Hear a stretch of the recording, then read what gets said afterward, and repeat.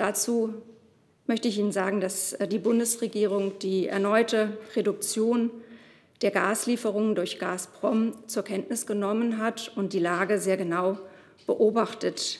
Die Lieferverträge werden zum jetzigen Zeitpunkt nicht eingehalten. Transformationsfonds KTF weiterentwickelt. Wir sehen dafür, wie schon auch zuvor, keine technischen Ursachen. Die Turbine ist da, sie ist gewartet. Unsere kanadischen Partner haben der Auslieferung zugestimmt. Dafür sind wir sehr dankbar. Ein Transport der Turbine nach Russland steht also aus unserer Sicht nichts im Wege. 26 insgesamt rund 177, Was wir hier sehen, ist tatsächlich ein Machtspiel und davon lassen wir uns nicht beeindrucken.